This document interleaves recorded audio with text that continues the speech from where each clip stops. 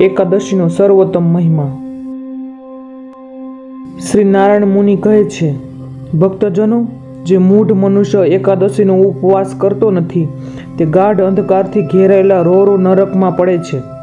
કારણ કે બ્રહ્મ હત્યા સમાન સર્વે મહાપાપી તથા જે કોઈ પાપો એકાદશીના દિવસે અનાજમાં નિવાસ કરીને રહે છે, તેથી એકાદશીને દિવસે જે કોઈ માનવ અન્નનું ભક્ષણ કરે છે, તેને બ્રહ્મ હત્યા જેવા મહાપાપો લાગે છે. તેમજ તેને માતૃઘાતી, પિતૃઘાતી અને ગુરુઘાતી કહેલો છે.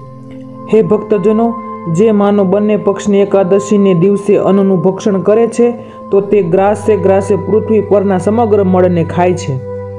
બ્રહ્મ હત્યાનું પ્રાયશ્ચિત બુદ્ધિમાન પુરુષોએ ધર્મશાસ્ત્રમાં કહેલું છે.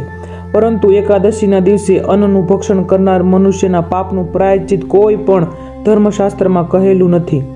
આ લોકમાં દારૂનું પાર કરનારો માત્ર પોતે જ નરકમાં જાય છે. પરંતુ એકાદશીના અન્ન ખાનારો પોતાના પૂર્વજો સ્વર્ગમાં ગયા હોય તેને ત્યાંથી નરકમાં પરાણે નાખે છે અને પોતે પણ ઘોર નરકમાં પડે છે.